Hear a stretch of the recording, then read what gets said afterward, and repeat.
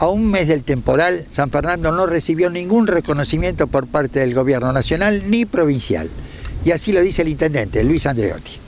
Yo creo que hoy decir, realmente o hay un desconocimiento o hay una intención política. Un desconocimiento porque de San Fernando ha sido del distrito del conurbano, sector La Plata, el que más llovió. Primero fue en la parte de San Martín, en lo que es Santo eh, León Suárez, que llovió 220 milímetros, en San Fernando 185. Nosotros, por zona costera y por aparte tener la cuenca de Reconquista, del Cordero, del Luján, es decir, tenemos zonas bajas afectadas es decir, por el tipo de inundaciones. Tuvimos cerca de 30.000 personas afectadas. Bueno, no hemos recibido ni, los aportes ni la ayuda de ANSES para nuestros jubilados y también, es decir, con respecto a provincia, en su momento no, no hemos recibido ayuda. Ahora en el reclamo de las obras, bueno, estamos poniendo de acuerdo para algunas obras que necesita San Fernando hacerlas, pero tampoco Banco Provincia con su línea de crédito hoy está respondiendo a nuestros vecinos que tuvieron la inundación. Y eso que Banco Provincia en un momento dado se acercó mucho con ustedes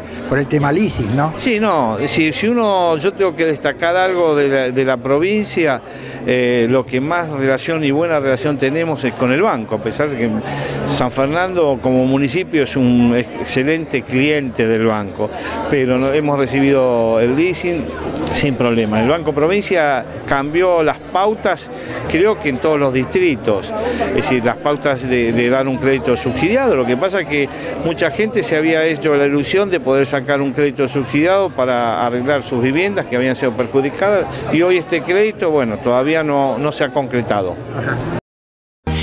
Vení, vení, la, la, la.